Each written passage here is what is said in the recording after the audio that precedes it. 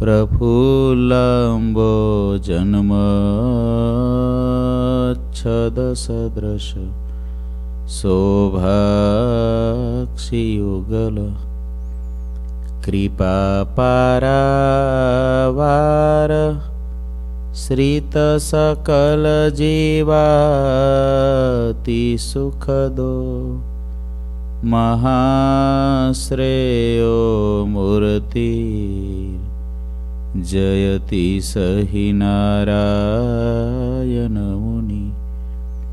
वर्णिवेशरमणीयदर्शनं मन्दहासरुचिरात्मनाम्बुजम् पूजितं सुरनरोत्तमेर्मुदा धर्मनन्दनमहं विचिन्तये ॐ अवतारिणे श्रीस्वामिनारायणाय नमो नमः ॐ श्रीहरिकृष्णाय नमो नमः ॐ श्रीपूर्णपुरुषोत्तमाय नमो नमः બોલો શ્રી સ્વામિનારાયણ ભગવાનની શ્રી હરિકૃષ્ણ મહારાજની શ્રી ઘનશ્યામ મહારાજની જય બધા ભક્તોને હેતથી જય સ્વામિનારાયણ.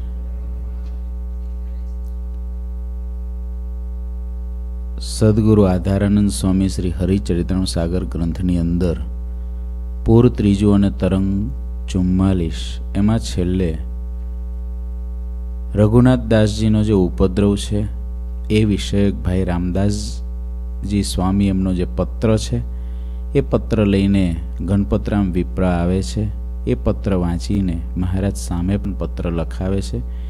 એવી કથા મુક્તાનંદ સ્વામીએ ઉત્તમ રાજાને સંભળાવી આગળ આધારાનંદ સ્વામી લખે છે, પૂર ત્રીજું તરંગ પિસ્તાળીસ અને સદગુરુ મુક્તાનંદ સ્વામી ઉત્તમ રાજાને આ કથા સંભળાવે છે. હરિજન સબકે હિત કે પત્ર લિખાય સાર ओगन साठ के वर्ष यह बैठे तब तेवार तब बाविस भय श्याम को जन्म से लेके सोय સત્સંકોહિત કરન કો તત્પર લગે સોય સમગ્ર હરિભક્તોના હિત માટે સારરૂપ પત્ર લખાવ્યો તે સમયે વિક્રમનું અઢારસો ને ઓગણસાઠનું વર્ષ બેસી ગયું હતું. ત્યારે શ્રીહરિને જન્મથી લઈને બાવીસ વર્ષ થઈ ગયા હતા. સત્સંગનું હિત કરવા માટે મહાપ્રભુ તત્પર થઈ રહ્યા હતા. સ્વયં દેશકાળની પરિસ્થિતિ સમજીને, જોઈને હરિભક્તોનું હિત થાય તે જ રીતે સદા વર્તતા હતા. પોતાને માટે સુખ સગવડની ઈચ્છા ક્યારેય કરતા નહીં.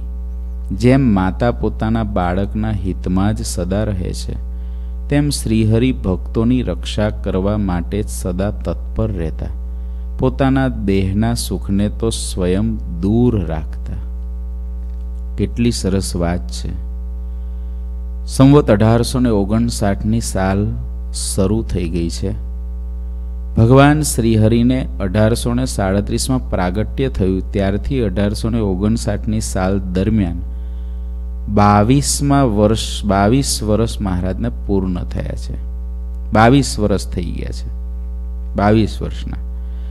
અને સત્સંગનું હિત કરવા માટે મહારાજે કમર બાંધી છે એમ લખે છે. દેશકાળની પરિસ્થિતિને સમજીને હરિભગતનું હિત કેમ થાય? એવો મહારાજ રાત દિવસ પોતે એવું વર્તન રાખતા. પોતાના સુખ સગવડની ઈચ્છા ભગવાને ક્યારેય કરી નથી. હંમેશા મહારાજે, મારો આશ્રિત સુખી કેમ થાય? એવો જ ઉપાય કર્યો છે. અને વાસ્તવિકતા જો સમજવામાં આવે, તો જે જે મુક્તાત્માઓને કે સ્વયં પરમાત્માને જ્યારે કોઈ જીવાત્માઓનું કલ્યાણ કરવું હોય ત્યારે દુઃખ એને સૌથી વધારે ભોગવવું પડે છે. આ લોકની તમામ સુખ સાહેબીઓ એને સૌથી વધારે ત્યજવી પડે છે. એને ક્યારેય પણ ટાઈમે ઊંઘ ન થાય. એને ક્યારેય પણ ટાઈમે ભોજન ન થાય. એને ક્યારેય પણ સમયે સમયે દેહને જેમ આપણે સાચવીએ છીએ, એમ એ ન સાચવી શકે. એનું કારણ છે કારણ કે એને તો અનંતનું હિત કરવાનું છે. એટલે લખે છે કે મહારાજ જે માતા પોતાના બાળકના હિતમાં સદા વર્તે છે, એમ ભગવાન શ્રીહરિ મારા અને તમારા હિત માટે આપણી માની જેમ રાત અને દિવસ ચિંતા કરે છે. આત્માની સાચી મા, આત્માના સાચા બાપ પરમાત્માને સદગુરુ છે. ભગવાન શ્રીહરિ આપણા બાપની જગ્યાએ છે. અને ગુરુજી જેવા મોટા સત્પુરુષ આપણી માની જગ્યાએ છે. આ મા બાપનો આશરો જેને હોય, એને ક્યારેય પણ જીવનની અંદર કોઈ વિઘ્ન આવે નહીં. શ્રીજી મહારાજ સદાયને માટે પોતાના દેહના સુખને ન ગણીને સ્વયં બીજાના હિતને અર્થે, સત્સંગીના હિતને અર્થે રાતને દિવસે વિચરણ કરતા. શ્રીહરિએ એક પત્ર લખીને વિપ્રને આપ્યો. વિપ્રે શ્રીહરિના ચરણોને પોતાની છાતીએ ચાંપ્યા. વિપ્ર જે છે ગણપતરામાં આવેલા, એ પગે લાગ્યા. મહારાજના ચરણોને પોતાની છાતીમાં લીધા. એ વિપ્રને મહારાજ બહુ હેતથી ભેટ્યા. સુખકારી હાથથી તેની પીઠ થાબડી સાબાસી દીધી. સાબાસી દે તો રાજી થાય ને એમ ભગવાને એને સાબાસી દીધી. પછી મહારાજ બોલ્યા નિર્બેરે ના સબ હરિજન જોવું બોલે ઈમી નારાયણ સો વિપ્રલાએ તે પેંડા જોઈ. વિપ્રલાએ તે પેંડા જોઈ. પ્રેમ સે જે શ્રી હરિ સોઈ. પ્રેમ સે જે શ્રી હરિ સોઈ. ભગવાન બોલ્યા, ઓલા બ્રાહ્મણની પીઠ થાબડતા થાબડતા મહારાજ કે, બધા હરિભક્તો નિર્ભય રહેજો. અને તે ગણપતરામ વિપ્ર જે પેંડા લાવ્યા હતા, એ પછી શ્રી હરિ જમ્યા. રામદાસજી સ્વામીએ પેંડા મોકલ્યા હતા ને પાંચ કિલો. એ પેંડા મહારાજ જમ્યા. ભાઈ રામદાસજી સ્વામી ઉપર શ્રીહરિને બહુ પ્રેમ હતો. તેથી તેમને માટે ખૂબ લાગણી ભર્યો પેંડાનો પ્રસાદ પાછો આપ્યો. થોડો પ્રસાદ પણ આપ્યો કે આ સ્વામીને આપજો. સુખદાયી ઘનશ્યામ એમ બોલ્યા, સૌને અમારા જયનારાયણ કહેજો. અમે હમણાં થોડા દિવસોમાં ત્યાં આવશું. સૌ મનમાં પ્રસન્ન રહેજો. મૂંઝાઈ ના જતા રઘુનાથદાસની ઉપાધિથી. અમે હમણાં આવીએ છીએ થોડા દિવસની અંદર. અને રાજી રહેજો બધાય. આનંદમાં રહેજો. અમારા જય સ્વામિનારાયણ કહેજો. આ પેંડાનો પ્રસાદ સ્વામીને દેજો. આવું મહારાજે પેલા ગણપતરામ વિપ્રને કીધું.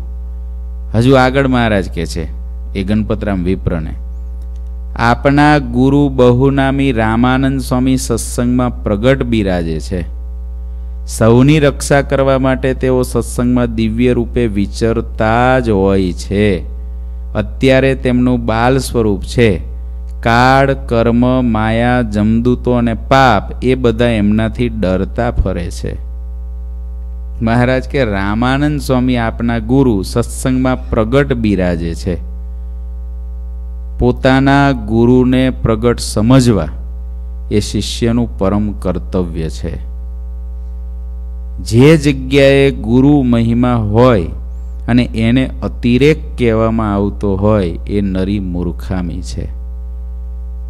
પરમાત્મા પરમાત્માના સ્થાને રાખી ગુરુનું જે લેવલ છે, એ લેવલે ગુરુનો મહિમા સમજવો, એ શાસ્ત્રીય પદ્ધતિ છે. ગુરુનો મહિમા એ રીતે નહીં સમજવાવાળા ક્યારેય પરમાત્માને પામી શકતા નથી. જેના જીવનમાં ગુરુ ભક્તિ નથી, એના જીવનમાં પરમાત્માની ભક્તિની એને આશા જ રાખવાની નહીં. ગુરુ ભક્તિ વિનાનો ક્યારેય પણ પરમાત્મામાં ચોંટી નથી શકતો. કોઈ શાસ્ત્ર એની અંદર શાખ નહીં પૂરે કે ગુરુ વિના કોઈ ભગવાનમાં ચોંટે. કોઈ શાસ્ત્ર શાખ નહીં પૂરે. જેને ભગવાનમાં ચોંટવું હશે, એને આ પૃથ્વી ઉપર કોઈ એક પાત્ર એવું હોવું પડશે કે જે પાત્ર ભગવાનમાં અખંડ જોડાયેલું હોય. એવું એક પાત્ર જોશે જોશે જોશે જોશે. એ ભગવાનમાં જે જોડાયેલું પાત્ર હશે એને પણ જેદી તેદી કોક ભગવાનમાં જોડાયેલા પાત્રની જ જરૂર પડેલી હશે. ગુરુ વિના જ્ઞાન કોઉ નહીં પાયો.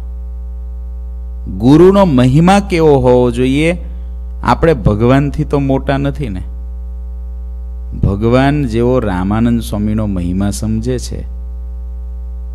એવો આપણે જેને આપણા સદગુરુ તરીકે સ્વીકાર્યા હોય, જેને સ્વીકાર્યા હોય, આ કથા તો તમે ઘણા બધા સાંભળતા હો જેને આપણે સદગુરુ તરીકે સ્વીકાર્યા હોય, જેને આપણે આપણા મોક્ષના દાતા માન્યા હોય, એ જે પુરુષ હોય, આપણે બધાએ સ્વીકાર્યા હશે, કંઈક જોયું તો હશે. આંધળું તો નહીં સ્વીકાર્યું હોય આંધળું સ્વીકાર્યું હોય તો જોઈ લેવું જોઈએ. પછી બરાબર દ્રઢ કરવું જોઈએ. પણ સ્વીકાર્યા પછીની માન્યતા આ હોવી જોઈએ કે મારા ગુરુ મારી સાથે પ્રગટ છે. મને મારા સદગુરુ જોવે જ છે, મને મારા સદગુરુ સાંભળે જ છે. કણે કણની અંદર જેમ પરમાત્મા છે, એમ મારા સદગુરુ કણે કણની અંદર મારા માટે છે. આટલી દ્રઢતા જે શિષ્યને હોય, એ શિષ્યને પરમાત્માને બિલકુલ છેટું ના હોય. બિલકુલ છેટું ના હોય. અણુમાત્ર છેટું ના હોય. જે સદગુરુથી અણુમાત્ર છેટો નથી, એ પરમાત્માથી અણુમાત્ર છેટો નથી.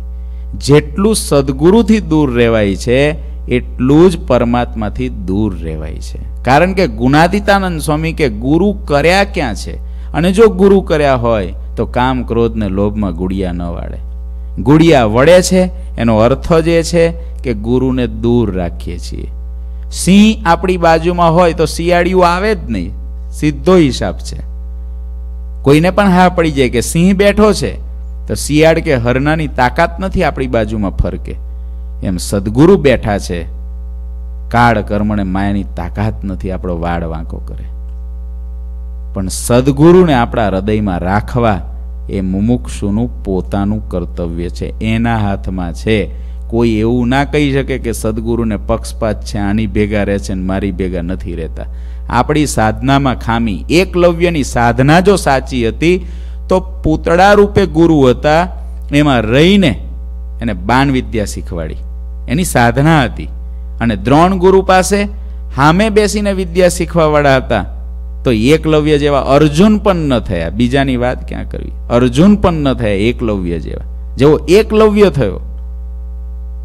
એવો દ્રોણ ગુરુની સામે બેસીને એક પૂતળા રૂપે ગુરુને સેવે છે, એક હામે ગુરુને સેવે છે પૂતળા રૂપે સેવવા વાળા એક લવ્ય બની ગયા. અને ગુરુ દક્ષિણાની અંદર, એટલે તમે સામે બે સાંભળો છો, એની વાત નથી કરતો.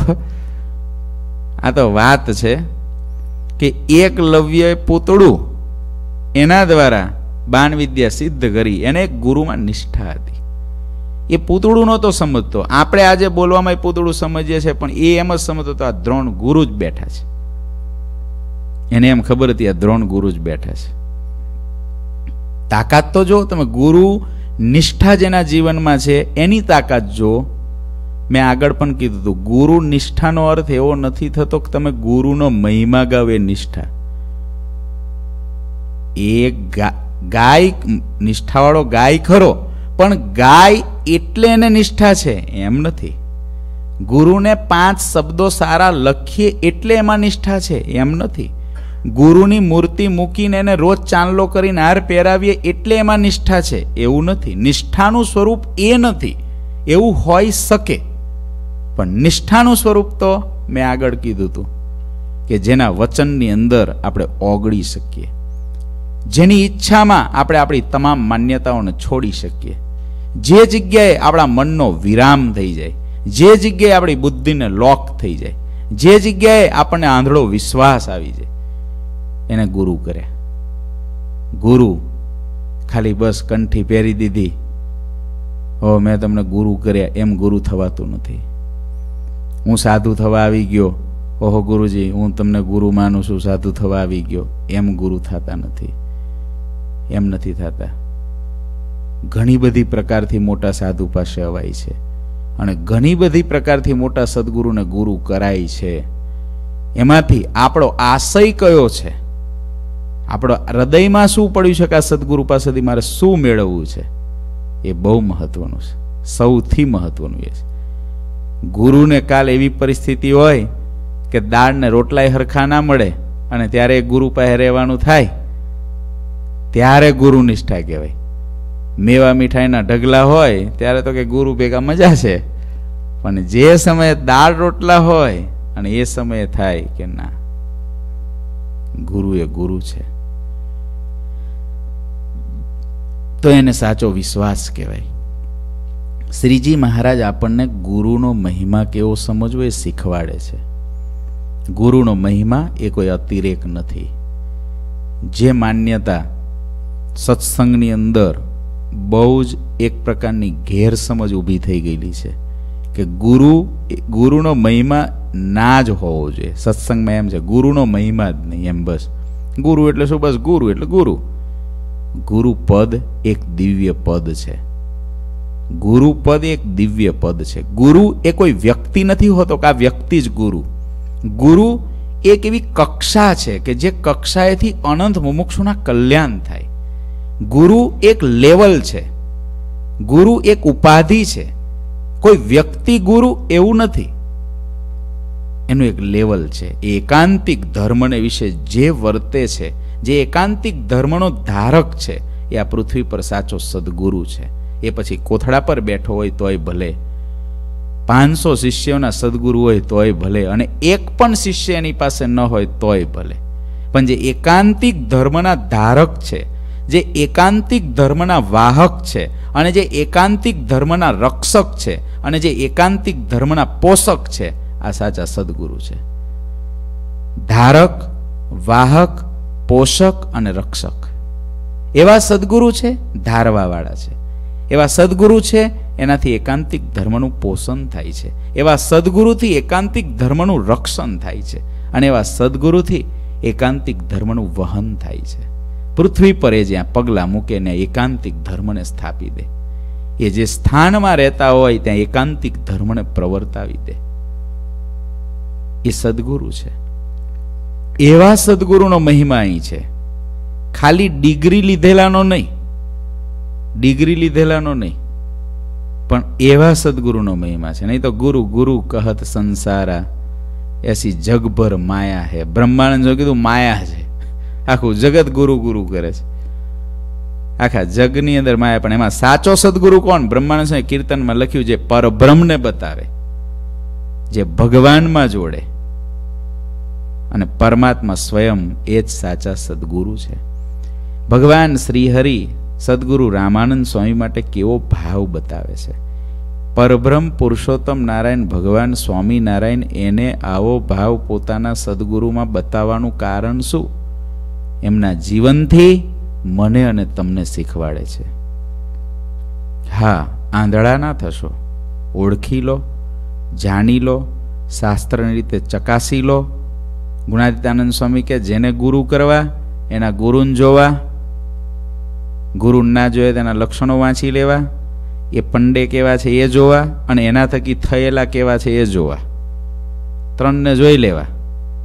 અને પછી શાસ્ત્રમાં મળતું આવે, જ્યારે હા પડે, એક વર્ષે, બે વર્ષે, પાંચ વર્ષે, પચીસ વર્ષે, ત્રીસ વર્ષે, પછી આયુષ બહુ હજાર વર્ષની હોય તો સો વર્ષે આ પડે, તોય વાંધો નહીં.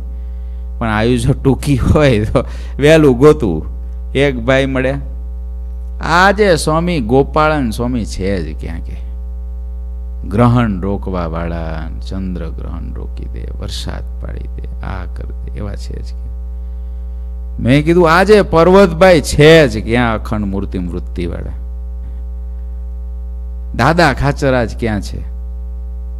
મેં કીધું, ભાઈ રહેવા દો તમે જેવા છો ને, તમે જેવા દાદા ખાચર પર્વતભાઈ જીનાભાઈ છો ને, એવા ગોપાળંદ મુક્તાનંદ તો છે જ અત્યારે.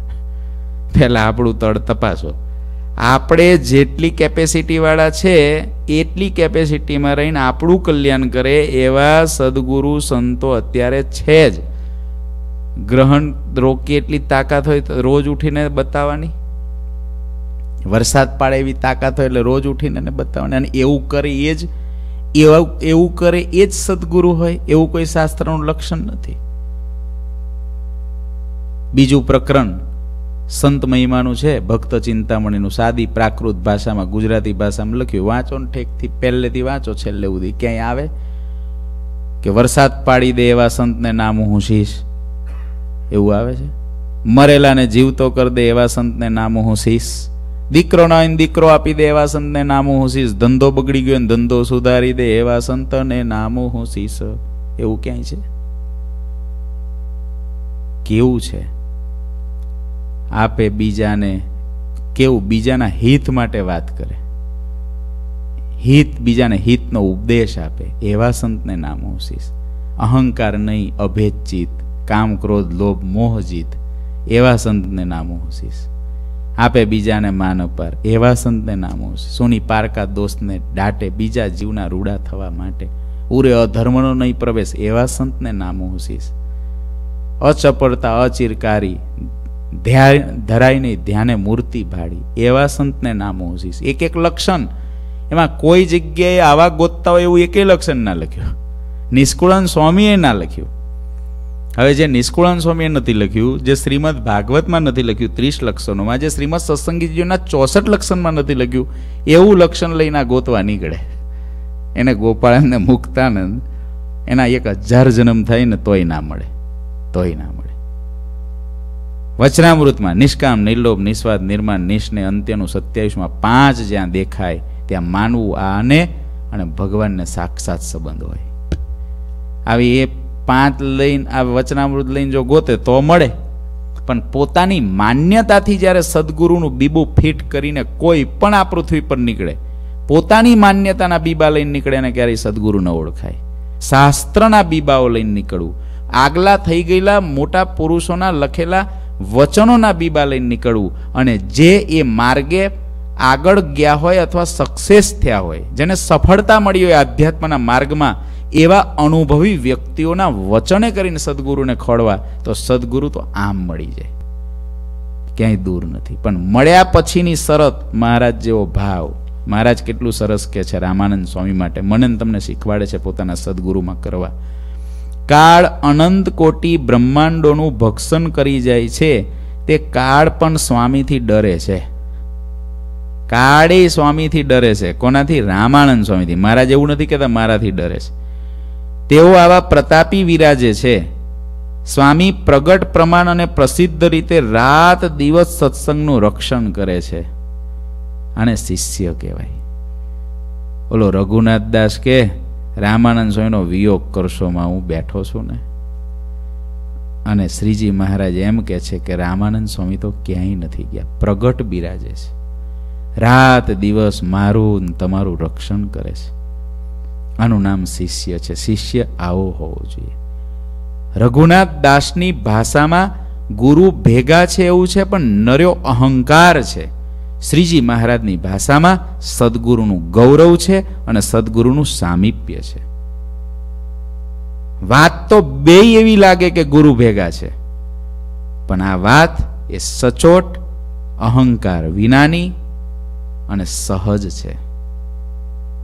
સદગુરુ તો પ્રગટ બિરાજે છે. મહારાજ કે, મારા દિલમાં તેનો વિશ્વાસ છે. એટલે એમનો પાક્કો દ્રડાવ કરી રાખ્યો છે. મને તો રામાનંદ સ્વામીનો વિશ્વાસ છે. વાહ, શું મહારાજ પોતાના સદગુરુની વાત કરે છે? આપણને શીખવાડે છે. આપણને વિશ્વાસ જોઈએ. જેમ હીરાને ફોડવા તોડવા પ્રયત્ન કરીએ, છતાં તે ફૂટતો તૂટતો નથી. જૈસે હી હીરા ફોર્યો ન ફૂટે તેસે તીન સંગ પ્રીત ન છૂટે સુખ દુઃખ જોજો આવે હમહી સુખ દુઃખ જોજો આવે હમહી અરુ સતસંગ મે આવે કબહી અરુ સંગ મે આવે કબહી. જેમ હીરાને ફોડવા તોડવા પ્રયત્ન કરીએ, છતાં તે ફૂટતો તૂટતો નથી. તેમ સ્વામી સાથેનું હેત છોડ્યું પણ છૂટતું નથી. આ શિષ્યનું, આ શિષ્યની ભાષા. સ્વામી સાથેનું હેત તો મહારાજ કે મને પણ છૂટતું નથી. સ્વામી પ્રગટ છે. અમને જે સુખ દુઃખ આવે અને સત્સંગને ક્યારેક સુખ દુઃખ આવે, તેમાં પણ એમની કૃપા રહી છે. એમ માનીને હું પ્રસન્ન રહું છું. મહારાજને આ ઉપાધિ રઘુનાથ દાસની કેમ આવી? આવવાનું કારણ શું? ગાદીએ બેઠા એટલે. તો ગાદીએ મહારાજને બેસવું હતું? નહોતું બેસવું? રામાનંદ સ્વામીએ જ્યારે કીધું કે આ ગાદી મારે તમને સોંપી છે, ગુરુ મહારાજ બીજી કોઈ પણ સેવા હો પણ ગાદી કોઈને હોપી દો. હું એને લાયક નથી, હું તો બહુ નાની ઉંમરનો. અને બધું આની અંદર સ્ત્રી ધન બધાનો યોગ થાય. રામાનંદ સ્વામી કે તમારા સિવાય મને કોઈ લાયક લાગતો નથી. ના ના ના ના. અને જ્યારે રામાનંદ સ્વામી અતિ આગ્રહ કરીને, રામાનંદ સ્વામીની આંખમાં જ્યારે જળજળિયા જોયા, કહેતા કહેતા, ત્યારે શ્રીજી મહારાજ ગાદી ઉપર બેઠા છે. અને ગાદી ઉપર શ્રીજી મહારાજ બેઠા ત્યારે રઘુનાથ દાસે ઉપાધિ શરૂ કરી છે. શ્રીજી મહારાજને રઘુનાથ દાસ દ્વારા થયેલી ઉપાધિ એનું જો કોઈ કારણ હોય, તો સદગુરુ રામાનંદ સ્વામીએ બેસાડ્યા એ, એટલે કોની ઈચ્છાથી શ્રીજી મહારાજ પર સુખ દુઃખ આવ્યું? રામાનંદ સ્વામીની. મહારાજ કે, અમે તો ગુરુની ઈચ્છામાં સુખ દુઃખ જે મળ્યું એને અમે અમે એની કૃપા માનીએ છીએ. સાચો શિષ્ય એને જ કહેવાય કે પોતાના ગુરુની ઈચ્છામાં સુખ મળે કે દુઃખ મળે. પોતાના ગુરુની ઈચ્છામાં યશ મળે કે અપયશ મળે. પોતાના ગુરુની ઈચ્છામાં સમાજ તરફથી આજુબાજુમાંથી સ્તુતિ મળે કે નિંદા મળે. પોતાના ગુરુના આદેશ, આદેશને અનુસરતા કદાચ હાથીએ બેસવાનું થાય કે ગધેડે બેસવાનું થાય, પણ જેની તૈયારી બધી જ વાતમાં સોનાના દોરા જેવી હોય, એને શિષ્ય કહેવાય. શિષ્ય થવું સહેલું નથી. પગ ધોવાથી શિષ્ય થવાતું નથી. પાસે બેસવાથી શિષ્ય થવાતું નથી. હા, શિષ્યના એ બધા લક્ષણો ચોક્કસ છે. પણ આપણે હંડ્રેડ પર્સન્ટ શિષ્ય કોઈ સદગુરુના થવું હોય, તો આપણી એટલી તૈયારી જોઈએ. માન, અપમાન, સ્તુતિ, નિંદા એ બધાય વચ્ચેથી સદગુરુ પસાર કરે અને તોય નજર રે સદગુરુ પર. ઓલી સ્તુતિ પર ના રે, નિંદા પર ના રે. કોઈ આપણને બહુ વખાણી દે તો ફૂલાઈને ફૂગો નાથી જાય કોઈ નિંદા કરે મુરજાઈ ના જાય. કારણ કે આપણને ખબર છે કે હું જે કરું છું, એ મારા સદગુરુના આદેશ પ્રમાણે એ રસ્તે હાલું છું. એમાં જે થવું એ થાય. એને, એની મારી પર કૃપા છે. એવું જે માને એ સાચો શિષ્ય છે. નાદ ભગતને ગોપાળન સ્વામી વડોદરામાં હતા અને નાથ ભગતને ઘેર પીપળાના ઝાડ નીચે સ્વામી વાતો કરે, તે વડોદરાના દીવાને રાજાને ચડાયા ગોપાળાનંદ આવી આવીને વડોદરાની અંદર બધું બગાડે છે. સ્વામિનારાયણનો બહુ ફેલાવો કરે છે. ગોપાળ બાવો આવે તે. સ્વામીનું આજ પ્રાગટ્ય છે ને. તો સ્વામી વાતો કરતા હતા. ત્યાં સિપાહીઓ આવ્યા એટલે સ્વામી એક દિવસ સવારમાં નીકળતા હતા વાડી મંદિરની અંદર જવા. તો નીકળ્યા ત્યાં ચબૂતરા પાસેથી નીકળ્યા ત્યારે જેલની અંદર કેદીઓ હતા. એ કેદીઓને બધાને ખબર પડી ગોપાળન સ્વામી નીકળે છે એટલે બધા કેદીઓએ ઊંચા થઈને પ્રાર્થના કરી, હે સ્વામી, તમે તો બહુ મોટા છો, બહુ કૃપાળુ છો, તો અમને છોડાવો ને સ્વામી કે આવતીકાલ હવાર નાથ ભગત જેલમાં આવશે અને તમને છોડાવશે. પેલા સાધુ હરિભક્તો કે, સ્વામી, નાથ ભગત તો એકાંતિક ભગત છે, એને હું ગુનો કર્યો જેલમાં નાખો છો? સ્વામી કે, તો જરૂર પડે આ લોકોને જેલમાંથી છોડાવશે ને લખ ચોરાસીમાંથી છોડાવશે કે, નાથ ભગત આવશે તો. સ્વામી ઘેર જઈને કથા કરવા બેઠા. બીજે દિવસ સવારની અંદર આવ્યું દીવાનનું લશ્કર સ્વામીને પકડવા. સ્વામીને કે તમે અહીંથી નીકળી જાઓ, નહીં તો અમને તમને અમને આદેશ છે તમને પકડીને લઈ જવાના. સ્વામી કે ભાઈ, અમારે તો અહીં કાંઈ આવવું જ નથી. પણ આ નાથ ભગત વારે વારે બોલાયા કરે છે. એને પકડો. અમારે તો કાંઈ, અમે તો આ લ્યા કે. તો સ્વામી તો ગાડામાં બેન કરાલી જવા તૈયાર થયા અને ભગતને પકડાઈ નાખ્યા. નાથ ભગતને જેલમાં નાખ્યા. ઓલા બીજા હરિભક્તો કે, સ્વામી, નાથ ભગત જેલમાં ગયા, તમે જાઓ, અમને કથા કોણ કરશે? સ્વામી કે, નાથ ભગત આવી જશે વહેલા મોડે. પણ નાથ ભગતને સંકલ્પ ન થયો કે, ગોપાળન સ્વામી બેઠા છે ને મારે જેલમાં જવાનું? આપણે ગોપાળન સ્વામી બેઠા હોય તો શું આશા રાખીએ? આપણો તો વાડ વાંકો. ગોપાળન સ્વામી બેઠા છે એટલે. પણ ગોપાળન સ્વામી પોતે જેલમાં. પેલાને કે અમેર તો કઈ આવું નથી. આ નાથ ભગત બોલાવે. આને લઈ જાઓ કઈથી અમને શું કરવા જેલમાં લઈ જાઓ છો? ઓલાને ઉપાડ્યા અને નાથ ભગત પછી જેલમાં ગયા. પણ સ્વામી પ્રત્યેના ભાવમાં કાંઈ ફેર ના પડ્યો. પછીનું ચરિત્ર ગુરુજીએ નાથ ભગતની કથા બહુ વિસ્તારથી કરી છે. ઉપવાસ થયા, મહારાજ પોતે આવ્યા મૂળજી બ્રહ્મચારીને લઈને. પોતાના ચરનારીમાંથી નાથ ભગતને સ્નાન કરાવ્યું. જેલના કેદીઓ આશ્ચર્યમાં પડી ગયા. નાથ ભગત કોની હારે વાતો કરે છે? કશું દેખાય નહીં. પણ પાણી દેખાય. ભગત નાયાએ દેખાયું. નળ સીધો ફુવારો ભગવાને ચરણમાંથી છોડ્યો. પછી પૂજા કરી. ઘેરથી લાલજી, મૂળજી, બ્રહ્મચારી જઈને લઈ આવ્યા. એ લાલજીની પૂજા કરી, મહારાજની કરી. બહુ વિસ્તારથી કથા છે. પછી મહારાજે જમાડ્યા. જમવાનું કીધું, મહારાજ, તમે પ્રસાદી જમો. પછી હું જમું. મહારાજને મૂળજી, બ્રહ્મચારી બે પ્રસાદી કરીને આપ્યું. ત્યારે પોતે થોડી પ્રસાદી લીધી બીજા બધા માટે રાખી. ગુલાબનો હાર મહારાજે એક એક પહેરાયો. એ કાર પોતાના ગળામાંથી કાઢીને પાછા કેદીને પહેરાવે. સાહીઠ કેદીઓને ત્રણ દિવસ જેલમાં રહ્યા. ત્રીજે દિવસે આ ઘટના ઘટી હતી. સાહિત્ય સાહીઠ કેદીઓને ગુલાબના હાર પહેરાવ્યા અને મહારાજે છેલ્લો હાર એને આપ્યો. પછી મહારાજને એને પ્રાર્થના કરી, મહારાજ, આ બધાની દર્શન દોને, એનું કલ્યાણ થાય. મહારાજે દર્શન દીધા. પછી અદ્રશ્ય થયા. સયાજીરાવને ખબર પડી કે આવું થયું અને સયાજીરાવે નાથ ભગતની છોડી મૂક્યા નારે હાઈટ કેદીઓને છોડાવી દીધા. નાથ ભગતે અને બધાય સત્સંગી થઈ ગયા. પણ ગોપાળાન સ્વામીએ જેલમાં નખાવ્યા પોતાની ઈચ્છાથી, પણ નાદ ભગતને એમ થયું કે સદગુરુ જેમ કરતા હશે, એમાં મારું હિત જ હશે. જે શિષ્યને પોતાના સદગુરુ ગમે તે કરે, આ પૃથ્વી પર એક વ્યક્તિ એવું હોવું જોઈએ, એક વ્યક્તિત્વ એવું હોવું જોઈએ, એક વ્યક્તિત્વ કે જે આપણી સ્તુતિ કરે આપણા વખાણ કરે કે આપણી નિંદા કરે? આપણી હામે કરે કે પાછલા દરવાજે કરે? આપણી જ આપણી જ વાત કોકની સાથે કરે? આપણો કોઈ દોષ કોકની આગળ કે? આપણી સાથે પ્રેમથી વર્તે કે આપણી સાથે કદાચ તરછોડ આપણને રાત નથી એવું વર્તે. તો પણ જેને એમ ગરજ હોય કે કલ્યાણ થશે તો અહીંથી જ થશે, ત્યારે એને સદગુરુને ઓળખ્યા કહેવાય. નહીં તો સદગુરુને જાણ્યા જ ના કહેવાય. સદગુરુને હું ઓળખ્યા એને? વખાણ કરે તો હારા લાગે? પાસે રાખે તો બહુ હારા લાગે? આપણને આગળ કરે તો બહુ સારું લાગે? પણ આપણી સામે કોકને બહુ વખાણી દે તો ના ગમે? તેને સદગુરુને ઓળખ્યા જ ક્યાં? એને સદગુરુને શું જાણે? એને ગુરુ કર્યા છે જ ક્યાં? આપણને સરસ મજાનું ક્ષેત્ર આપે, મોટા હાર પહેરવા મળતા હોય. આજે હું છું અને મને એમ ગુરુજી કે તારે કથા કરવાની, વિદેશમાં રહેવાનું, બધે ફરવાનું, આયોજન કરવાનું, હરિભક્તોનો સંપર્ક કરવાનો, તો તો બહુ સારું લાગે. પણ કાલ ગુરુજી એમ કે કે આ લોયાની અંદર છે ને ગટરો બહુ ઉભરાય છે અને કંડારીમાં ગટરો બહુ ઉભરાય છે. એટલે હવે તારે દહ વર ગટરો સાફ કરવાની. ગટર સાફ કરે તો એને તો કોઈ સંપર્કે ના થાય. એને કંઈ હાર પહેરવા જવાનું હોય, એને કંઈ વ્યાસપીઠ મળે, એને કોઈ સ્વામી સ્વામી કરતું આવે. હવે આરો ન્યામ ઉજારો થાય કે કેમ ગુરુજીને હમણાં એવું તો શું ફેર પડી ગયો છે? કેમ એવું થઈ ગયું છે? ગુરુજીને કોને કે આવું સમજાઈ દીધું? આમ રિસર્ચ કરવા નીકળે. કોનું રિસર્ચ કરે? ગુરુનું રિસર્ચ કરે.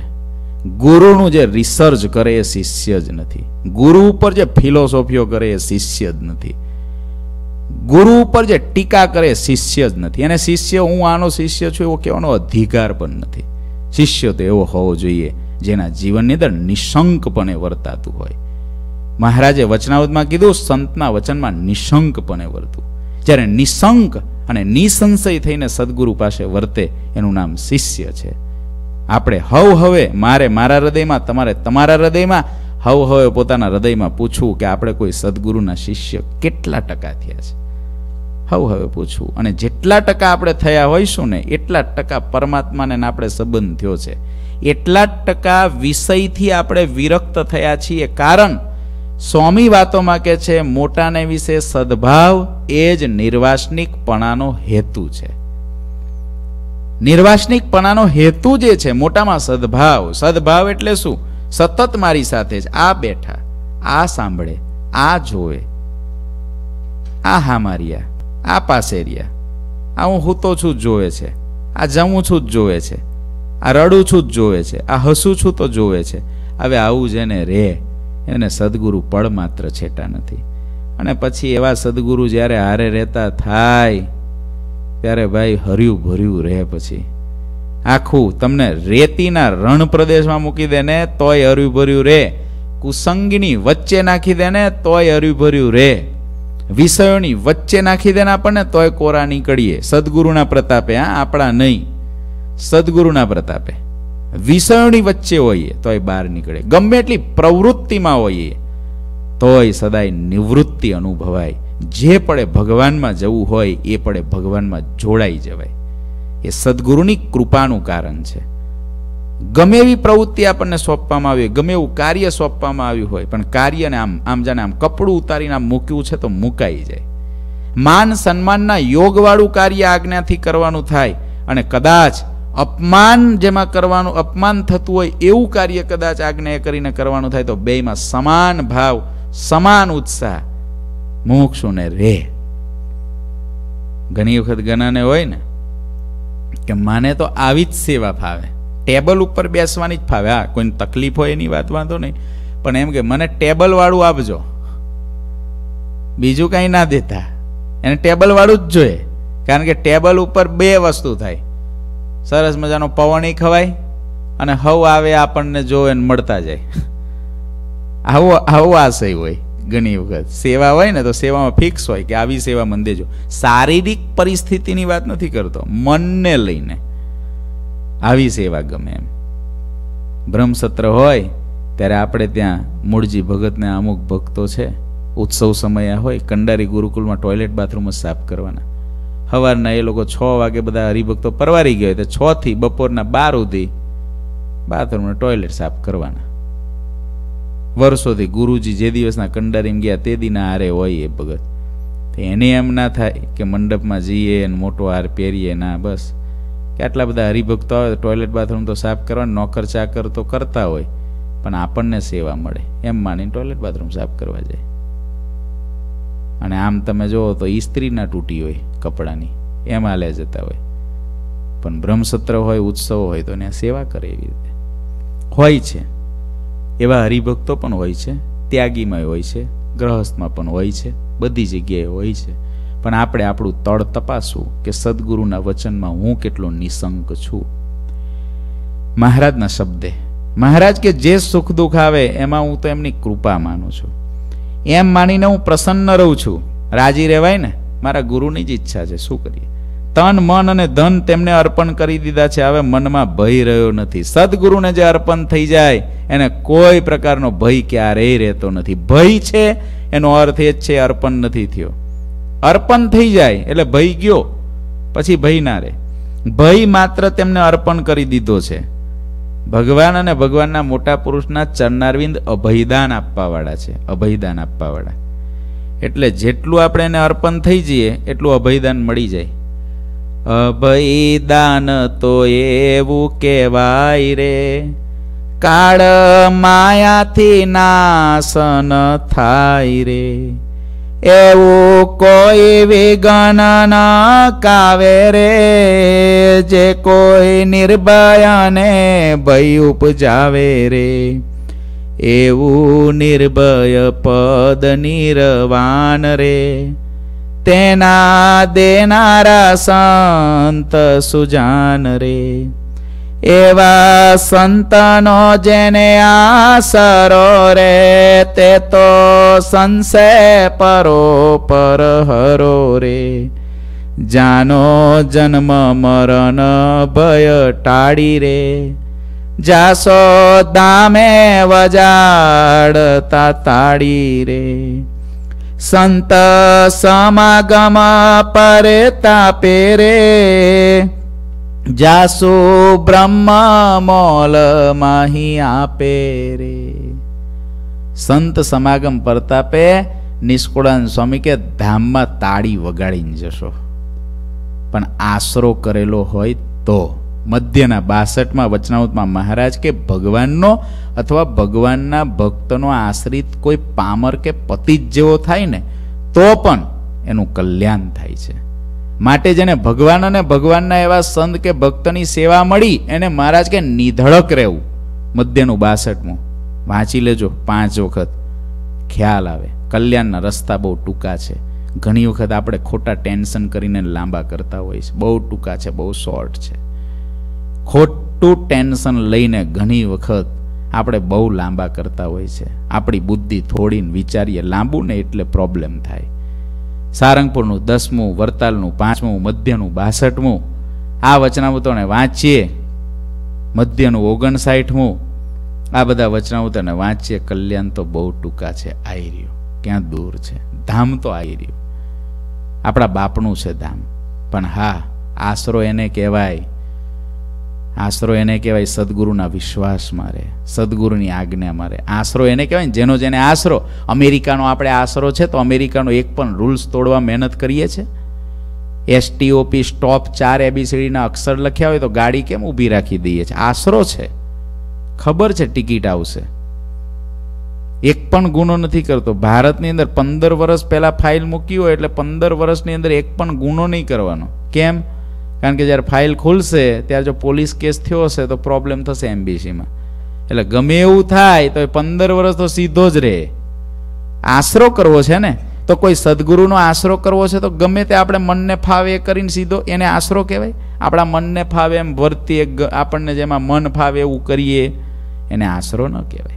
આશરાનો અર્થ એ છે, એની વફાદારી. તમે જે સદગુરુની પાસે છો, એની વફાદારી તમને કેટલી છે?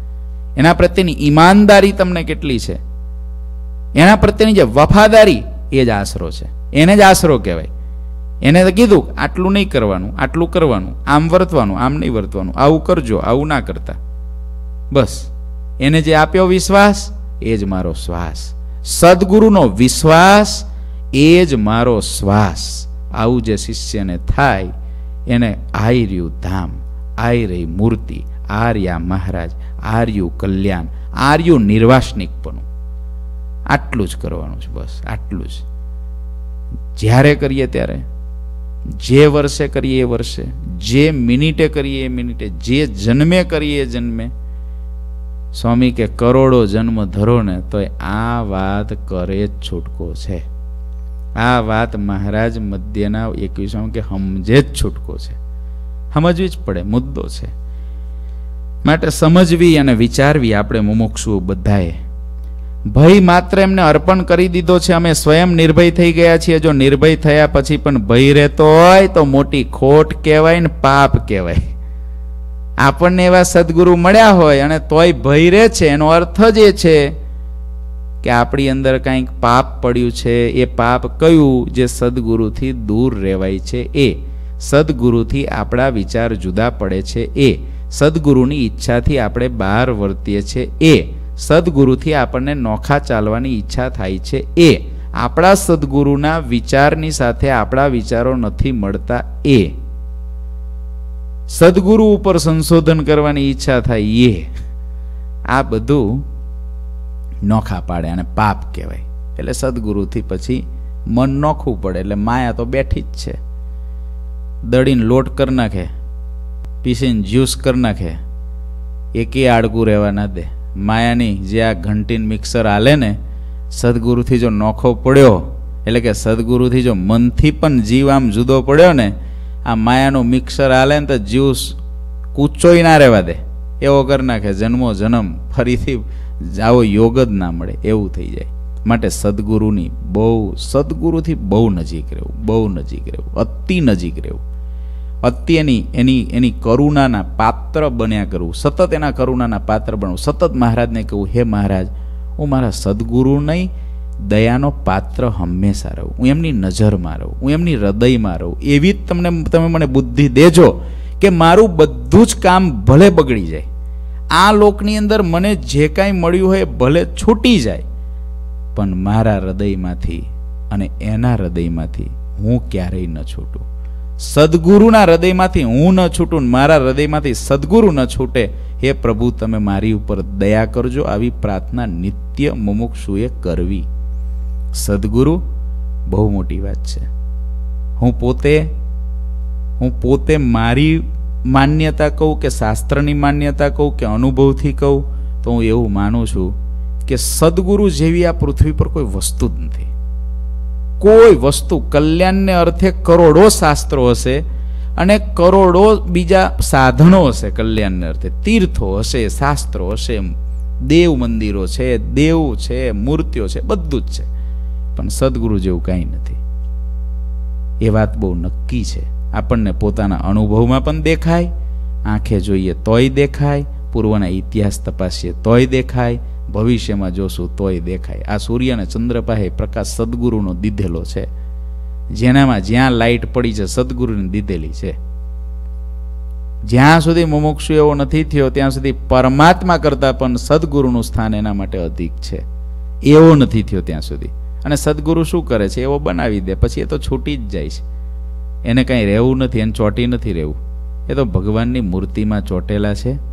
મહારાજ કે, અરે સ્વામી, વાતોમાં કે આ સાધુ તો પળ માત્ર ભગવાનથી છેટે રહે એવા નથી. રહે છે ને? એ તો દયાએ કરીને કોકના કલ્યાણને અર્થે રહે છે. એક પળ માત્ર છેટે રહેવા નથી. એટલે તો તમે જુઓ, જે જે મોટા પુરુષો પ્રવૃત્તિ કરતા હોય ને, તો આપણને લાગે આખી જિંદગી પ્રવૃત્તિ. અને જ્યારે ઉપસમ અવસ્થા ગ્રહણ કરે ને, તો જાણે, ઓહો, કાંઈ કરતા જ નહોતા. એવા થઈ જાય. એવા થઈ જાય. એવું તો ઘડીકમાં કેમનું થાય? કરી તો જો એક દિવસ કરે ફેર ચડી જાય. અને આને કાંઈ નહીં. એનું કારણ શું? એનું કારણ એક જ છે, ભગવાનમાં વળગેલા છે. પણ દયાએ કરીને મારા માટે બહાર આવી અને મારી સાથે નાતો બાંધે છે. આ કેટલા દયાળુ સદગુરુ. આમ સદગુરુના દયાના વિચારો કર્યા કરવા. તો સદગુરુથી નજીક જવાશે. માટે હું કહું છું કે ગુરુજીને ફોન કરો, ગુરુજીનો કોન્ટેક રાખો, પંદર દિવસે એક વખત ગુરુજીને ફોન કરવાનો નિયમ રાખો. જે સમેણ કરો. તમારા બર્થડે પ્રસંગો હોય, તમારી કોઈ સારી તિથિ હોય, ક્યારેક તમારી મેરેજ એનિવર્સરી હોય, ક્યારેક એવું હોય, ઘરમાં સ્પીકર ફોન મૂકીને મૂકો અને ગુરુજીના આશીર્વાદને સાંભળો. પાંચ મિનિટ, દસ મિનિટ તમે એક બે વખત કરો, કદાચ બીજી હોય તો બીજા દિવસોમાં કરો. પણ આશીર્વાદ લો, સાંભળો. એનાથી જે કામ થશે, એ બહુ થશે. માટે હું ઘણી વખત કહું છું, અમારાથી એકલું તૃપ્ત ના થઈ જવું. જવું આગળ. હા, બહુ અસંતોષય ના રાખવો ના મળે તો પછી સંતોષ રાખો, સંતો મળી જાય. પણ સદગુરુ પાસે જવું. ભય માત્ર તેમને અર્પણ કરી દીધો છે. જો નિર્ભય થયા પછી ભય રહે તો મોટી ખોટ કહેવાય ને પાપ કહેવાય. તે ખોટની તપાસ કરીને પ્રતિદિન પાપનું નિવારણ કરવું જોઈએ. તે ખોટને મનમાં શત્રુ ગણીને તેની ઉપેક્ષા કરવી જોઈએ નહીં. એટલા માટે સત્સંગ કરીને નિર્ભય રહેવું, શુદ્ધ કાંચનની જેમ અખંડ આત્મસત્તા રૂપે રહેવું. હે વિપ્રવર, આ કઈ તે અમારી સ્થિતિ છે, તમે ત્યાં જઈને સૌને કહેજો. મહારાજ કે, આ અમારી સ્થિતિ છે. બધાને તમે ત્યાં જઈને કહેજો કે, મહારાજ આવી સ્થિતિમાં છે. ઓલો વિપ્ર, હાથ જોડીને કે, હે નાથ, મારી વિનંતી સાંભળો, મારે જાજી બુદ્ધિ નથી. આપની કહેલી વાત વેદોના વચન જેવી છે. તે એક રતિ જેટલી પણ મારા હૃદયમાં ટકે નહીં. બહુ ભારે ડોઝ છે તમારો. અમારા હૃદયમાં આ ઘરે એવું એક કામ કરો, મને તો ત્યાં કંઈ આ યાદ આવે એવું લાગતું જ નથી. માટે આપ એક બીજો પત્ર લખો. એમ હાથ જોડીને નાનું એવું મારું મન કે છે, એક બીજો જે કીધું એ લખી દો ને બીજા પત્રમાં મન યાદ નહીં રહે. ત્યારે શ્રીહરિ એક બીજો પત્ર લખાવ્યો નહીં તો એવું થાય. કીધું હોય હું ને કે કાંઈ, એને કરતાં જે લખ્યું હોય તો એનું એ કહેવાય. જેનાથી કોઈ પણ સંદેહ થાય નહીં. હા, રામકથા, મૂળજી બ્રહ્મચારીને કીધું, જાઓ, બાઈઓને કયાઓ ગામકથા બંધ કરે ને રામકથા ચાલુ કરે. ગામકથા બંધ, રામકથા ચાલુ, ગામકથા બંધ, રામકથા ચાલુ. તે આમ જતા જતા રસ્તામાં ક્યાંક ભટકાયા. તે ફરી ગયું, રામકથા બંધ, ગામકથા ચાલુ. તે બાઈઓને કે મહારાજે કીધું છે કે રામકથા બંધ કરો અને ગામકથા ચાલુ કરો. એટલે બાઈઓ મહારાજને કે મહારાજ આમ કેવડો? મહારાજ કે અમારો મૂળજી બ્રહ્મચારી ભોળો છે. મેં કીધું તું કે ગામ કથા બંધ કરો અને રામ કથા શરૂ કરો. એટલે કહેવામાં એવું થઈ જાય ઘણી વખત. અને મોટે ભાગના ઝઘડા કહેતો તો કહેતી હતી બહુ હોય. તમે જોજો, કારણ હું અડધું સાંભળ્યું ને અડધું ના સાંભળ્યું ને એનું સીધું જ પ્રચાર પ્રસારણ ચાલુ થઈ જાય. જીવનો સ્વભાવ એવો ને. લખેલું કંઈ જોવે નહીં. ગણપતરામ વિપ્ર જેતપુરમાં બે દિવસ રહ્યા પછી શ્રીહરિની મૂર્તિને દિલમાં ધારીને ચાલતા થયા.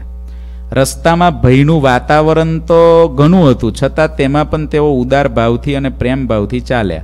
મનમાં શ્રીહરિના પ્રતાપનું બળ રાખીને બધા ભયને ટાળી નાખ્યો. રસ્તો ભય લાગે એવો હતો, પણ તોય રાજી થકા ચાલ્યા. મનમાં અપાર હેત હતું, તેથી ચાર દિવસમાં ચાલીને શ્રીનગર પહોંચી ગયા. પ્રસન્ન મુખવાળા ગણપતરામ વિપ્રાવીને બધા સંતોના પગમાં પડ્યા. સૌને શ્રીહરિના જયનારાયણ કયા, બીજા બધા સંતોના નામ લઈને જય નારાયણ કયા, મુક્તાનંદ સ્વામી આદિ મોટેરા સંતોના તથા શ્રીહરિના ક્ષેમ કુશળની વાતો કહી. કે ને બધા મજામાં છે જેસોમેન્ટ કીધા છે, આમ બહારથી જઈએ તો કેવું જોઈએ? હરિભક્તોના પણ નામ લઈને કુશળ સમાચાર કયા, તેમજ જેતપુરમાં બે દિવસ શ્રીના ચરિત્ર જોયા હતા, વળી અનંત ધ્યાન અને ધારણા વગેરેને પણ દેખ્યા હતા, બધી વાત વિસ્તારથી કહી. જે જે જોયું હતું બધું, એ બધું કીધું. સંતોએ બધું પૂછ્યું જે સંતોએ જે જે પૂછ્યું તે કહ્યું મૌખિક સમાચાર કહ્યા પછી શ્રીહરિએ આપેલા બંને પત્ર ભાઈ રામદાસ સ્વામીના હાથમાં આપ્યા અને શ્રીહરિએ આપેલા પેંડાનો મહાપ્રસાદ પણ આપ્યો. તેથી તેઓ ખૂબ જ ખુશી થયા. ગણપતરામ પાછા આવ્યા છે એવા સમાચાર સાંભળીને બધા હરિભક્તો ત્યાં દોડી આવ્યા. શ્રીહરિના નવા સમાચાર જાણવાની બધાની ઈચ્છા હતી કે મહારાજે શું લખાયું છે રઘુનાથ દાસ સામે? અને હવે આપણે શું કરવાનું છે? મહારાજ ક્યારે આવવાના છે? હીરાચંદ ચોકસી આદિ હરિભક્તો ઘણા પ્રેમી હતા. શ્રી સહજાનંદ સ્વામીના ચરિત્રની વાતને સાંભળીને સૌને શરીરનું ભાન ન રહ્યું. સમાધિ થવા લાગી. મહારાજના ચરિત્રો સાંભળીને બધાને સૌના નાડી પ્રાણ ખેંચાવા લાગ્યા. મહાન સમાધિ થઈ. તેમાં શ્રીહરિની મૂર્તિના દર્શન થવાથી ઘણો હર્ષ થયો. જેને સમાધિ થઈ હતી, બધા ખડખડાટ હસવા લાગ્યા. સમાધિ થઈ ને?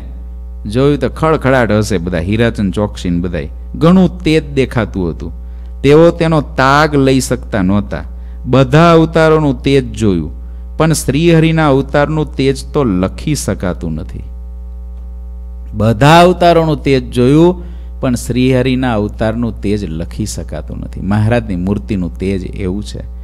પછી દેખાયું કે સમગ્ર તેજનું મૂળ તો એક શ્રીહરિ છે. તે તેજનું મૂળ શ્રીહરિને દેખીને તેઓ ભાન ભૂલી ગયા. ઓહો, આપણને મળ્યા. એ જ સર્વનું મૂળ છે. આવું જોયું એટલે ભાન ભૂલાઈ ગયું. બહુ મજામાં આવી ગયા. તે મહાન આશ્ચર્ય દેખ્યા પછી સમાધિમાંથી બહાર આવીને શ્રીહરિના મહાન પ્રતાપની વાત કહેવા જતાય કહી શકતા નહીં. જેમ ગૂંગે ખાધો ગુડ, મૂંગો ગોળ ખાય, શું કે? પેલું જોયું છે ને, એ કહી નહોતા શકતા. કેમ નહોતા કહેતા? ઓર અવતાર કે ચરિત્રય પારા, સબ ગ્રંથ કહે વાર હિવારા तिनको सब जन महिमा जाने તે ही બરોબર કો ન માને કેમ નહોતા કહી શકતા એ લોકોએ જોયું એ એ લોકોએ એવું જોયું કે બીજા અવતારો કરતાં શ્રીહરિનું તેજ વધારે છે બધાનું મૂળ શ્રીહરિ છે છતાંય કહી નહોતા શકતા કારણ બીજા અવતારોના અપાર ચરિત્રોને તો બધા ગ્રંથોમાં વારંવાર લખ્યા છે એટલે એનો મહિમા બધા જાણતા હોય કૃષ્ણનો મહિમા, રામા અવતારનો મહિમા, કચ્છ અવતારનો મહિમા નૃષિ અવતારનો મહિમા. પણ શ્રીહરિના મહિમાને તે અવતારોના સમાન કહેવામાં આવે તો કોઈ માને નહીં. એ અવતારોને સમાન માનવા તૈયાર નહીં. અને અન્ય અવતારો કરતાં શ્રીહરિને જો અધિક કહેવામાં આવે ને, તો બીજા લોકો અધિક મહિમા કહેનારાને ચિત્ત ભ્રમ થઈ ગયું છે એમ ઠરાવી દે. જેમ આપણને ઠરાવે છે અત્યારે. આપણે કહીએ ને, સર્વ અવતારના અવતારી મહારાજ છે, અનંત અવતારો મહારાજને હાથ જોડીને ઊભા છે. ચિત્ત ભ્રમ થઈ ગયું છે કે આ લોકોનું કાંઈ ભાન નથી શાસ્ત્રનું. લો. અહીંયા હરિજયમાં સાગરમાં લખ્યું જ છે, ચિત્ત બ્રહ્મ જ કે આપણને. આમાં લખ્યું કે જે અવતારો કરતા મહારાજને મોટા કે, એટલે બીજા લોકો એને ચિત્ત બ્રહ્મ કે. ઠેકાનું નથી કે મગજનું, એટલે બોલે છે. પણ ક્યાંથી હોય ભાઈ? આવા મોટા મહારાજ મળ્યા, અમારા મગજ ઠેકાને ક્યાંથી હોય? સ્વામી કે આ વાત મળી છે, ગાંડા થઈ જાય. કોઈને વડોદરું શહેર મળે તો સ્વામી કે ગાંડો થાય. આ વંથલી મળે તો ગાંડો થાય. વડોદરું શહેર મળે તો વાત જ હું કરવી તે સ્વામી કે આપણને તો કરોડ કરોડ વડોદરા મળ્યા છે. ગાંડા જ થઈએ બીજું કંઈક થઈએ? એટલે ગાંડા જ છીએ ભાઈ. ચિત્ત બ્રહ્મ થયું છે સ્વામિનારાયણ સર્વોપરી છે. એના જેવો કોઈ નથી, કોઈ થયો નથી, થશે નહીં, છે નહીં, હશે નહીં, ક્યારેય કોઈ થવાને સમર્થ નથી. આ ચિત્ત બ્રહ્મની વાત છે, ભલે ચિત્ત વાત રહી. આધારણ સ્વામી લખે છે કે એને ચિત્ત બ્રહ્મવાળા કહેવાય છે. બીજા લોકોને તો શ્રીહરિના મહિમાનું જ્ઞાન હોતું નથી, જો જ્ઞાન જ ન હોય તો એને માને કેમ? એ રીતે બીજા લોકોના મનમાં સત્સંગનો ખપ હોય નહીં અને ખપ વિના જ્ઞાન પણ થાય નહીં, આવું બધું વિચારીને સમાધિમાં ગયેલા ભક્તો ખૂબ હસતા હતા, પણ બહાર વાત કહી શકતા નહીં. હસતા હતા બહુ. આનંદ થાય ને કે આપણને આવા મોટા મહારાજ મળ્યા.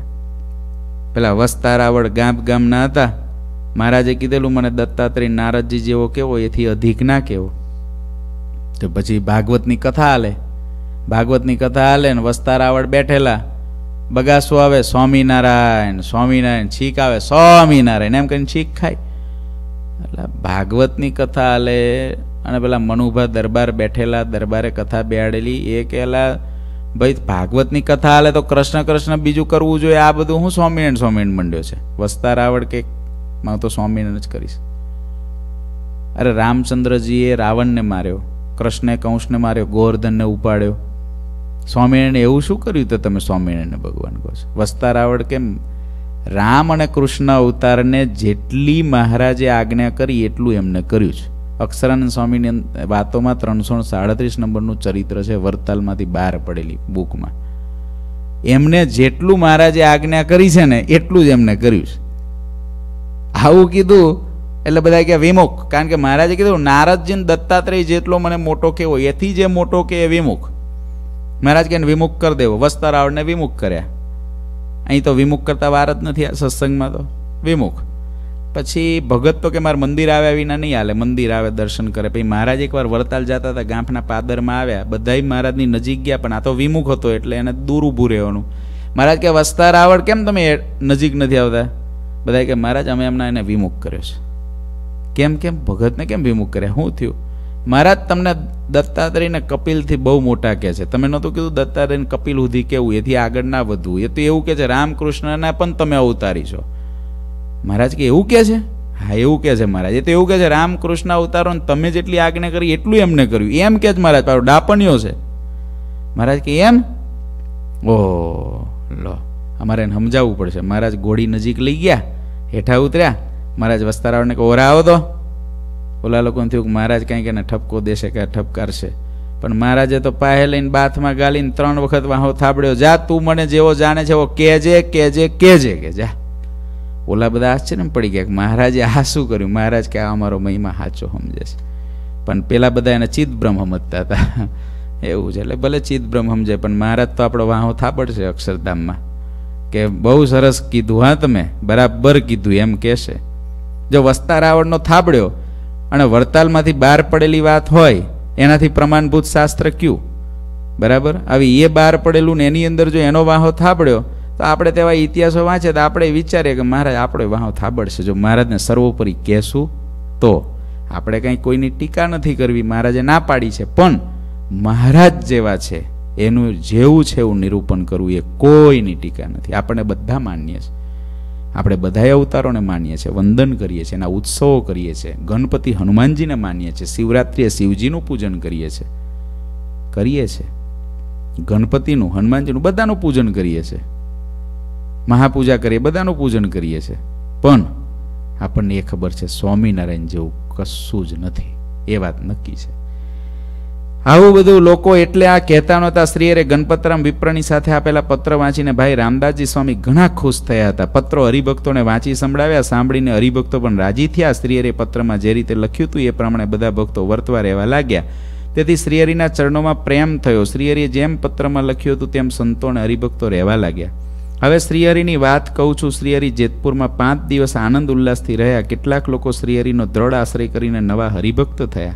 શ્રીહરિએ જેતપુરથી નીકળીને ચાલવાની ઘણી ઉતાવળે તૈયારી કરી, ત્યારે ત્યાં સેવામાં તત્પર રહેનારા ઉડ, ઉન્નડ ખુમાન આવ્યા. તેઓ દિનભાવે બોલ્યા, હાથીને સિંહને કાન પકડીને રોકી શકાય નહીં, તેમજ રાજાને જોગી પણ સ્વતંત્રપણે ફરતા હોય. ઉન્નડ ખુમાન કે હાથીને સિંહને ના પકડાય. એમ સાધુને અને રાજાને એને રોકી ના શકાય. પણ મહારાજ, અમને દિન ગણીને હૃદયમાં અમારા ઉપર દયા રાખો. આપ સંસાર સાગરને તરવા માટેનું મોક્ષરૂપ મોટું જહાજ છો. આપ દિલમાં દયા લાવી નહીં રોકાવ. પાંચ દિવસમાં હું થાય મહારાજ? આપ જેમ કહો તેમ અમે કરીએ. આપ બધું જાણો જ છો. આપના બળથી બધું થાય છે. આપ અહીંયા અમારા ઉપર રાજી રહો. વાડ કર્યા વિના વાડ વાડ થાય નહીં. વાડ એટલે પેલો શેરડીનો વાડ હોય ને એને વાડ કરવી પડે. વાડ કર્યા પછી શેરડીને ઘણું પાણી પાવું પડે. એક વરહ સુધી ખાતર પાણી પીવે પછી જે રસ પાકે, એ શેરડીનો રસ ક્યારેય જાય નહીં, એ સ્વાદ ટળે નહીં. એટલે મહારાજ રોકાવ, એક વરહ એમ કે છે. વાડ કરો અને પાણી પાવ, હરખો વાડ થાય. શેરડી રોપ્યા પછી તરત તેમાં રસ ચડતો નથી. પાંચ દીમાં તાલ્યા રસ કેમનો થાય મહારાજામાં વાડ તો કરો રો તો ખરા, ખાતર પાણી નાખો. આ બધી રીતને સમજો છો. ત્યારે શ્રી એથી કહ્યું, અત્યારે વધારે રોકાવાની વાત કરશો નહીં. પરંતુ અમે એટલું વચનને ભલામણ કરીએ છીએ કે તમે જો સત્સંગનો પક્ષ રાખશો તો તમારો અત્યંત ભાવ દેખીને અમે ફરીને વારંવાર અહીંયા આવશું. આટલું બોલીને શ્રીહરિ ચાલવાની તૈયારી કરીને એ જ વખતે ઘોડે સવાર થયા. રાજાના પ્રેમથી મહારાજ રોકાયા નહીં. કીધું, પક્ષ રાખજો, આવશું. વાજિંત્ર વગાડતા વગાડતા સૌ બહાર નીકળ્યા. અત્યંત ભવ્ય શોભા બની હતી. શ્રીહરિ અંગો ઉપર બધા જરિયાની વસ્ત્ર પહેર્યા હતા. અસ્તવળને પણ જરિયાની બધા સાથથી શણગાર્યો હતો. દરબાર શ્રીહરિની સાથે થોડુંક ચાલ્યા ત્યારે શ્રીહરિએ તેમને પાછા વાળ્યા. દયાળુ શ્રીહરિ ભાદર નદી ઉતરીને ઉમંગથી તત્કાળ ચાલ્યા તે ગોંડળ શહેરમાં પહોંચ્યા. ગોંડળી નદીને કાંઠે એક મનોહર બાગ હતો. તેમાં જાત જાતના અપાર વૃક્ષો હતા. બધા એક સરખી રીતે ઝૂકી ગયેલા હતા. એ બાગમાં એક બંગલો હતો. તેની અપાર શોભા વિરાજતી હતી. એના ગોખ ને અટારીઓ કંઈ અદ્ભુત હતી. બંગલો ચિત્ર વિચિત્ર રંગોથી બહુ ભાતનો રંગેલો લાગતો હતો. જરિયાની ઉલેચ ઊંચે બાંધ્યા હતા. બિલોરી કાચના અનેક ભાતના ઝાડ વચ્ચે લટકતા હતા. એના મધ્યમાં સોનેરી સિંહાસન હતું. તે રાજાએ શ્રીહરિને માટે જ બનાવીને અગાઉથી ગોઠવી રાખ્યું હતું. શ્રીહરિ તે સિંહાસનમાં બિરાજ્યા. ગોંડલ નરેશ એટલા ચતુર હતા કે હરિભક્ત બ્રાહ્મણોને બોલાવીને અગાઉથી રસોઈ પણ કરાવી રાખી હતી. એને ખબર હતી મહારાજ આવવાના છે. મધ્યાહન સમયે મહારાજ ગોંડળ પહોંચ્યા. શ્રીહરિ આવ્યા એટલે પહેલાં વિવિધ પેલા બ્રાહ્મણો જોડે જે રસોઈ કરાવી છે બધી જમ્યા. પછી બહુ ભાતના ભોજન સંતોને હરખથી બધાઈને જમાડ્યા અને મહારાજે પોતાની સાથે આવેલા દરબારો હતા એમને પણ જમાડ્યા. ઇતિ શ્રી સહજાનંદ સ્વામી શિષ્ય સિદ્ધાનંદ મુનિ વિરચિત શ્રી હરિચંદ્ર સાગરના તૃતીય પૂરમાં શ્રી હરિ બીજો એક પત્ર લખ્યો અને બંને પત્ર વાંચી રામદાસ સ્વામી અને હરિભક્તોની પ્રસન્નતા અને જેતપુરથી શ્રી હરિ ગોંડળ પધાર્યા. એ નામે પિસ્તાળીસમો તરંગ પૂરો થયો. શ્રી ઘનશ્યામ મહારાજ.